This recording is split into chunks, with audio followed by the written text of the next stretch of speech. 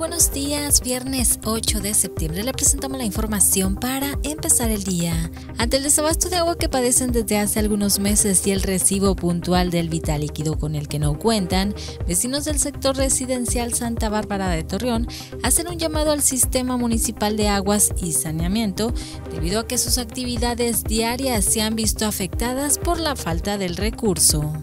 Con el fin de apoyar a personas que no cuentan con servicios médicos por la falta de recursos, Juan Antonio Adame, director de Salud Municipal de Gómez Palacio, informó que a través de la Fundación ALES se están realizando operaciones de cataratas gratuitas en el Hospital General de este municipio, cuyo propósito es mejorar la calidad de vida de quienes tienen este padecimiento. Mariano Serna, presidente de la Canaco de Torreón, informó que ya se encuentran listos para celebrar el Buen Fin, evento que se realizará del 17 al 20 de noviembre, donde diversos establecimientos ofrecerán importantes descuentos en los precios de los artículos y atractivas facilidades de pago. Hoy es el Día Mundial de la Fisioterapia, fecha que reconoce la importancia de quienes se dedican a esta especialidad de ayudar y promover el bienestar e independencia de los pacientes que han perdido la movilidad. Así también mejoran los problemas causados por enfermedades, malas posturas, dolores y lesiones deportivas, entre otras.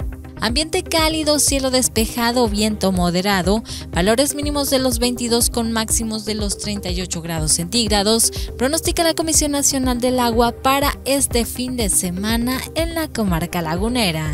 Acompáñenos con toda la información en punto de las 8 de la noche por Mega Noticias.